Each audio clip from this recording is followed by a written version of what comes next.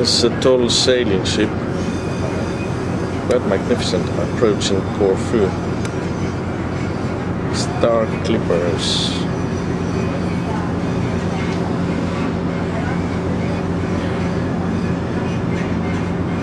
Royal Clipper is the name. Royal of which family? Uh, it's difficult to work out the flag.